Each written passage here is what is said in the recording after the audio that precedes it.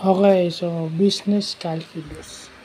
So, by definition, yung business calculus is uh, calculating the, op- the optimal production that will result in the greatest profit and minimize cost.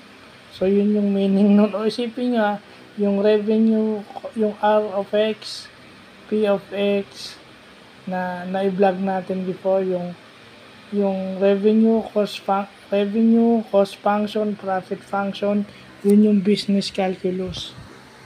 O, kasi doon na tayo papunta sa ano, eh, optimization problem. So sa business yun yung optimization problem na particular sa business. So yun na eh, nakalimutan ko lang kasi i-vlog kung hindi ko na elaborate so ngayon ko lang ina-elaborate. Yung na-plug natin na revenue function, cost function, profit function, yun yung optimization problems na sa business nakatuon.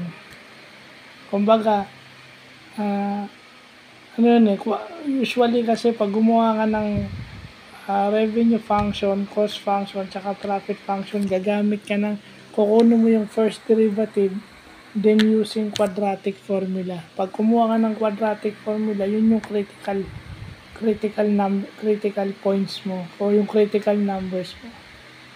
So pag gumamit ka ng quadratic formula, dalawang values.